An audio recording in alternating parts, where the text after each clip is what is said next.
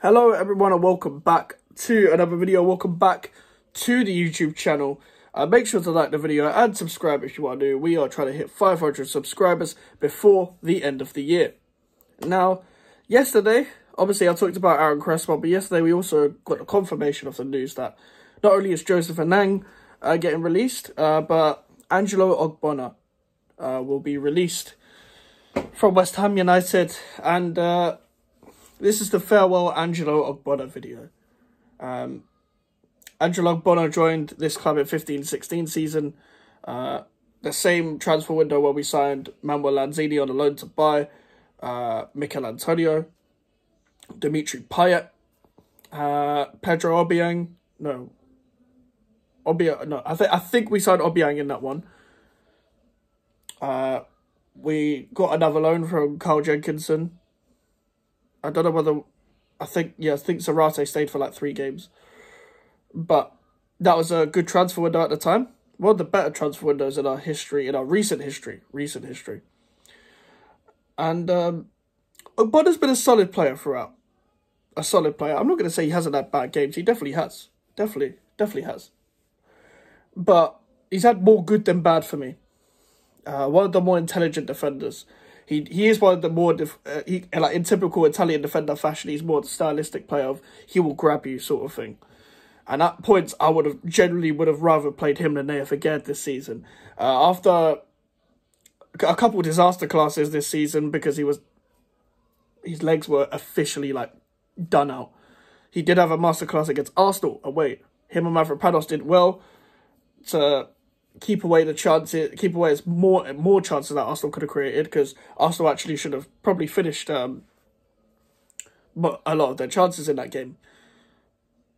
But Ogbonna deserved to win something at this club. He's one of the players that was here for a long time and deserved to win something at this club. Um, he wanted to win something here. He wanted to retire here. I don't think he's going to retire. I would love if he just retired and went into a like in a in the background of the academy, maybe stayed in East London to like you know, be in the background and stuff. But he can do what he wants. I suggest he takes a holiday. Um, retire. You've done enough in your career, but maybe he wants to retire in Italy. Obviously, buying him from Juventus as well as a statement because obviously he wanted to go and play, uh, have more game time uh, because Chiellini and Bonucci were right there. Uh, played with some great players. Was gutted that he didn't make the last Euro squad for Italy. I believe he should have made it. He had a good season that season in the lockdown seasons, you probably saw him at his best, the 15-16 season as well. Obviously, scoring that goal against Liverpool in the FA Cup at Upton Park was one of the huge highlights. And speaking of Liverpool, it was very unfortunate when he got injured in that 3-2 win because we were we had something there with him and Zouma when we were good at like defending deep and hitting teams at the counter attack. Um, him and Zouma were superb uh, together at the time an intelligent defender. And like you, you can't play high up the pitch with him nowadays, but you could have back then. He was actually all right on the ball. He had pace back then. When we first signed him, he was a he was a guy who had quite a bit of recovery pace, decent on the ball, um, just overall intelligent, could read the game as well. Uh, whenever there was a period of time like under Bilic and Pellegrini where we probably couldn't find a right partner for him. Uh, we were unfortunately surrounding him with very bad defenders he's done a lot for this club, and I appreciate him no matter what. Um, good luck to him. Uh, yeah, and when we watch the Conference League uh, stuff back, the first person you see with his hands like this is Angelo Ogbonna. The camera pans to him, just running.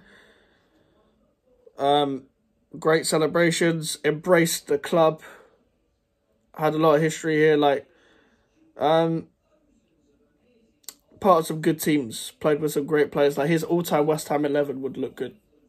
His all-time West Ham eleven would look really good. Um, obviously had an argument with Mark Noble in the nineteen twenty season because both of them are very passionate about the club, and he showed that he cared. In that nineteen twenty season, we were going through a rough patch where the manager was shit. A lot of the players played like they didn't care about the club. However, Angelo Ogbonna was one of the players that you could look and be like, he cares.